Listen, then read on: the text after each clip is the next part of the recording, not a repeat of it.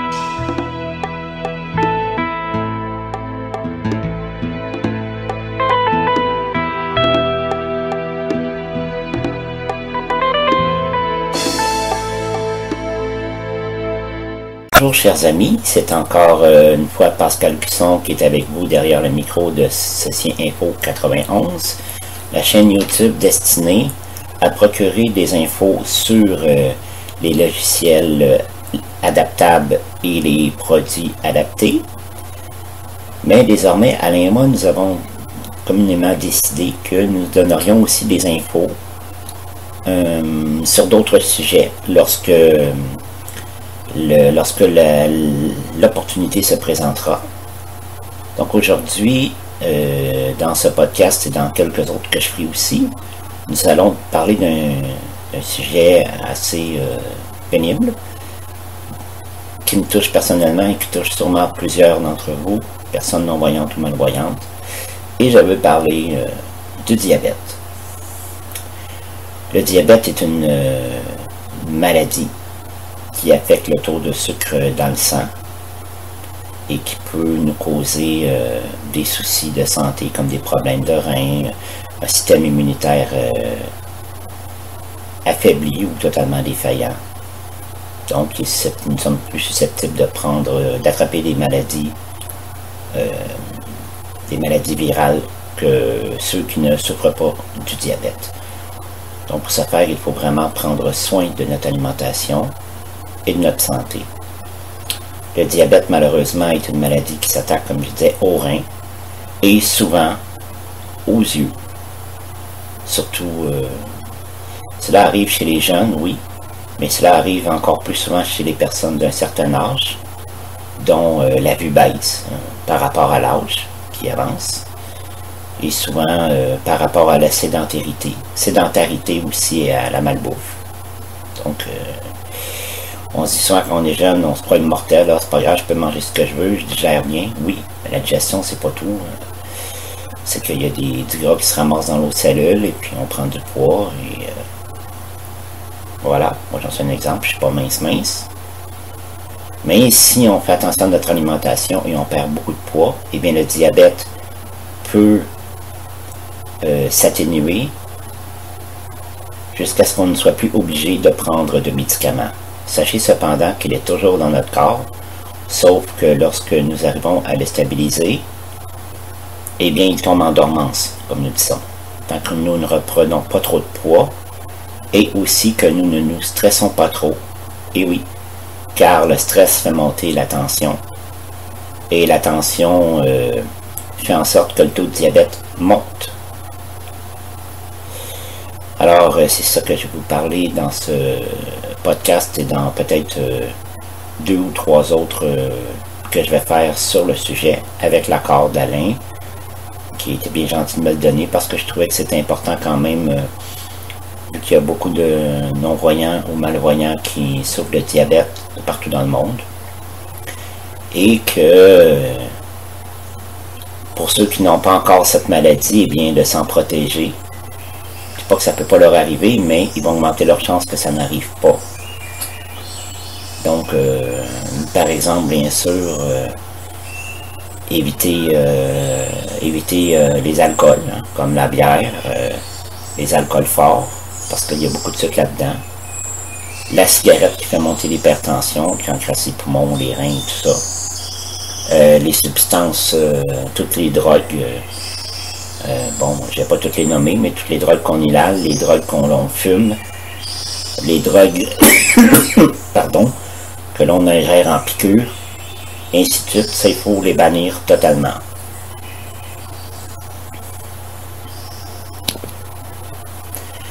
Donc euh, aujourd'hui, euh, nous allons parler dans ce premier podcast de deux sujets en deux parties. Première partie s'intitule euh, Être diabétique et bien s'alimenter. La deuxième partie s'intitule Objectif de l'alimentation. Allez hop, courons donc à la première partie. Partie 1 être diabétique et bien s'alimenter.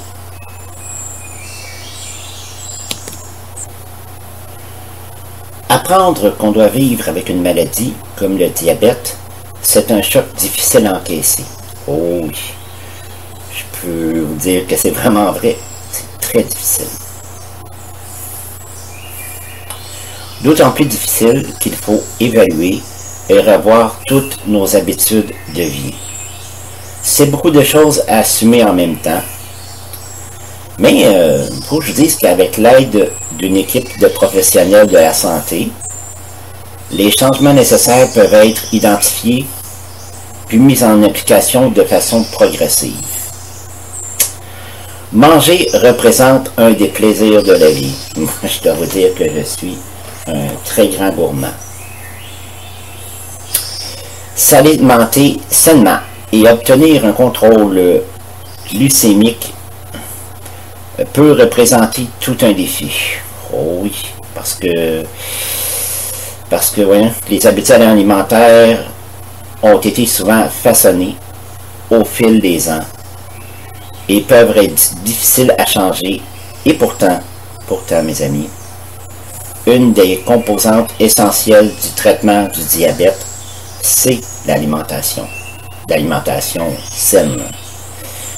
Et euh, quand on parle d'alimentation saine, souvent on, a un peu peur, on n'ose pas aller plus loin, lire plus loin ou écouter les médecins ou, les infirmières qui s'occupent du diabète euh, parce qu'on ne veut pas trop manger seulement parce que souvent on dit ah, ça goûte pas bon, euh, ça goûte meilleur les choses de junk food et tout ça. Évidemment, c'est vrai mais c'est pas ce qui goûte le plus bon qui est nécessairement le meilleur pour la santé. Ça, je vous en passe un papier comme on dit chez nous. Je dis je vous en passe un papier, ça veut dire c'est une évidence totale. Vouloir tout changer trop vite est souvent voué à l'échec.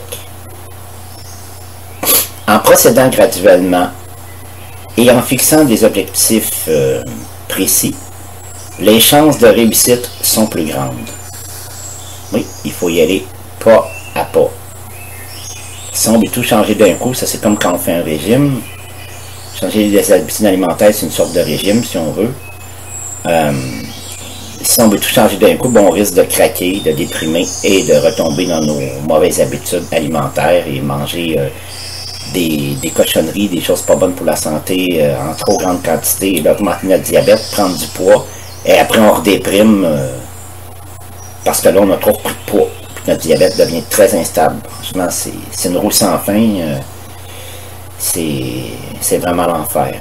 Donc, il faut vraiment prendre des objectifs, un par un, diminuer tel ou tel aliment qu'on aime beaucoup, ou telle boisson calorique, calorique qui apporte beaucoup de calories ou énergisante, la diminuer tout doucement. Donc, euh, moi, je vais vous donner un exemple personnel. Euh, j'ai eu beaucoup de misère à diminuer euh, la boisson gazeuse. Pour moi, c'est le Coca-Cola classique. Donc, il a fallu que, donc, euh, au début, je me suis dit, je vais prendre du Coca-Cola diète. Mais c'est absolument pas une bonne idée parce que dans le Coca-Cola diète, il y a ce qu'on appelle l'aspartame, qui est un sucre artificiel. Donc, le goût est atroce et en plus, c'est quand même du sucre. Du sucre synthétique, c'est très mauvais pour la santé, c'est synthétique et puis c'est très mauvais au goût et c'est pas bon pour la santé. Il vaut mieux pour ceux qui prennent des, boissons gazeuses, par exemple, prendre du Coca-Cola, 0, du 7-Up 0, du Sprite 0, en autant que c'est marqué 0. Donc si c'est marqué 0, ça a quand même un bon goût. Puis y a, comme ça, il n'y a pas de sucre, mais vous avez au moins le goût de votre euh, aliment. L'autre chose qu'il a fallu que je change, c'est le café. Parce que si vous prenez du café ordinaire, mettons du café ordinaire, je veux dire euh, régulier, que ce soit du café instantané ou du café, euh, du café euh, moulu, du café en moudre pour euh, le percolateur, eh bien, mieux vaut prendre du café décaféiné. On a quand même le goût du café, mais il faut enlever l'effet de la caféine parce que ça, ça fait beaucoup monter la tension. Et lorsque la tension monte, eh bien, on a le taux de sucre, de glucose qui monte. C'est les deux ensemble. Donc, et puis, il faut, il faut ne plus mettre de sucre dans son café. Ou par exemple, si vous en mettiez deux cuillères à thé de sucre, ben, vous en mettez juste euh, une. Et plus tard, lorsque vous êtes habitué à une, vous en mettez juste une demi. Et progressivement, mener à ne plus mettre de sucre du tout. Vous pouvez continuer à mettre du lait, par exemple, du 2%, ou du lait crémé. Mais du lait trop riche, c'est mieux de diminuer justement pour ne pas augmenter le taux de sucre parce que le lait enrichi, justement, lui, il y a, des, lui, il y a du glucose dedans, puis il faut éviter cela. Donc, donc comme je dis, euh, quand euh, ce premier, ce premier objectif-là, comme moi j'ai fait, vous le basez sur mon exemple, ou un autre, pour vous, ce qui est plus votre plus grande tentation, un autre, ça peut être le chocolat, un autre, ça peut être les chips, un autre, ainsi de suite.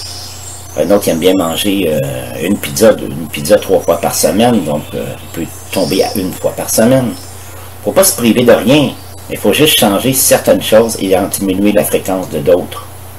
C'est pas de dire on tombe à, se nourrir comme euh, à manger que, de l'herbe là, ou des fleurs. C'est pas ça. L'humain n'est pas fait pour ça. L'humain est omnivore, il fait pour manger de tout. Donc, quand un premier objectif est atteint, ben, on passe au suivant. On s'en fixe un autre, petit à petit. Nous entamons maintenant la deuxième et dernière partie de ce podcast qui s'intitulera Objectif de l'alimentation. Voici les, quatre objectifs. En numéro 1, favoriser une alimentation équilibrée. Oh, ça, c'est pas facile. L'alimentation conseillée aux personnes diabétiques est basée sur le bon sens. Il faut absolument manger sainement. Une, alimentation équilibrée et variée est la façon la plus efficace d'atteindre les buts visés. Comme on a parlé tantôt dans la partie 1, les buts qu'on se fixe. Premièrement, de diminuer tout ce qui est junk food ou tout ce qui est trop sucré ainsi de suite. Bon, ben ensuite, quand on a fait ça, il faut se concentrer à bien s'alimenter.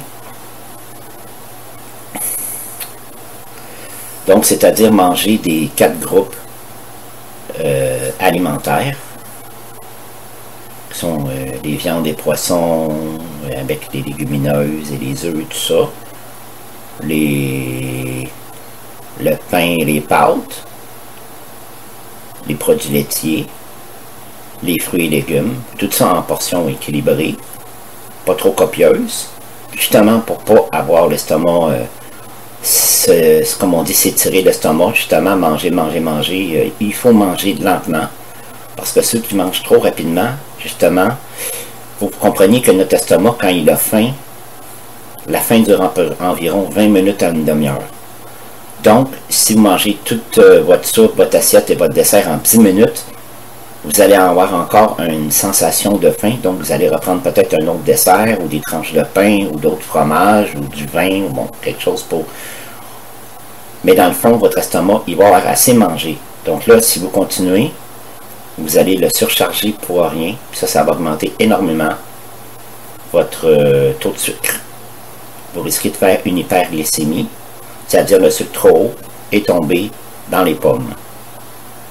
Et au contraire, si vous mangez trop peu, vous risquez de faire des hypoglycémies, ça veut dire que le sucre va être tellement bas que vous pouvez aussi tomber dans les pommes. Mais dans un cas comme dans l'autre, trop ou trop bas, vous pouvez aussi tomber dans le coma. Et euh, peut-être ne pas vous en réveiller.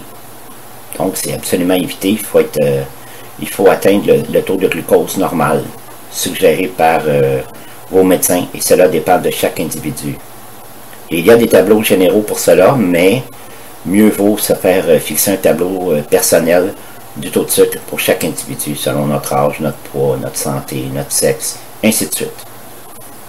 Donc, ne vous fiez pas sur les tableaux statistiques permanents. Cela est juste une indication. Parce que sinon, vous pouvez avoir des problèmes, donc mieux vaut consulter un, professionnel de la santé. En deuxième lieu, atteindre et maintenir un poids désirable ou ce qu'on appelle le poids santé. Le poids santé, ça ne veut pas dire non plus être mince comme un mannequin. Parce que ça, ça ne veut pas dire que ça puis qu'on voit tous les autres. Euh, c'est pas un poids santé, ça, de toute façon. À moins que vous ayez une ossature très fine, mais ça, c'est mieux d'en parler à votre médecin. Pour savoir quel est votre santé personnel. Une personne euh, diabétique qui est obèse aura généralement plus de difficultés à contrôler ses glucémies et aura besoin d'une plus grande dose de médicaments ou d'insuline pour diminuer son taux de sucre sanguin. En perdant du poids, le diabète sera généralement mieux contrôlé et ce, avec une quantité moindre de médicaments ou d'insuline. C'est ce qui est vraiment à souhaiter, chers amis. Vraiment perdre du poids. Graduellement, pas trop vite, mais de le perdre graduellement, comme je disais, petit à petit, mais définitivement. Ne pas en reprendre. Et bien sûr, euh, se procurer une, euh, une balance, un pèse-personne avec une synthèse vocale dedans. C'est pas si dispendieux que ça, vous en avez... Euh, dans, les associations pour non-voyants, souvent ils en vendent. Euh, dans tous les pays, probablement. En tout cas, dans les pays européens et en Amérique du Nord, on peut s'en procurer facilement. C'est pas trop dispendieux et c'est pour nous, c'est absolument essentiel d'avoir un pèse-personne euh, vocal. Il faut prendre son poids euh, deux ou trois fois par semaine. Si on voit qu'on prend du poids, ben là, il faut revoir si on n'a pas triché dans notre régime ou s'il n'y a pas d'autres aliments qui sont encore assez caloriques qu'on doit réduire. Pas caloriques, mais euh, ouais, caloriques et, et euh, qu'il y a trop de sucre dedans qu'on doit encore réduire dans nos prochains objectifs.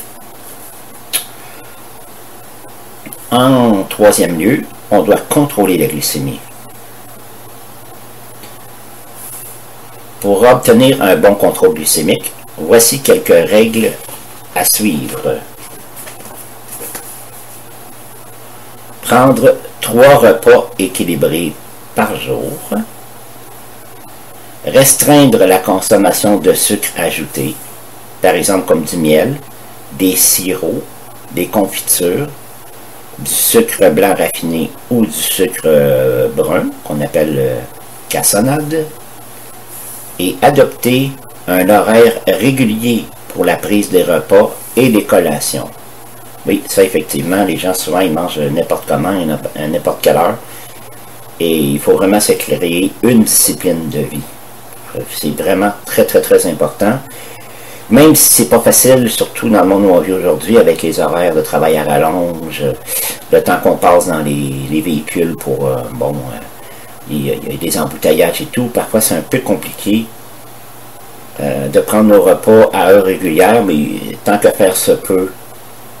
Et pour ceux qui n'aiment pas déjeuner, ben, je suis désolé de vous le dire, mais il faut absolument déjeuner.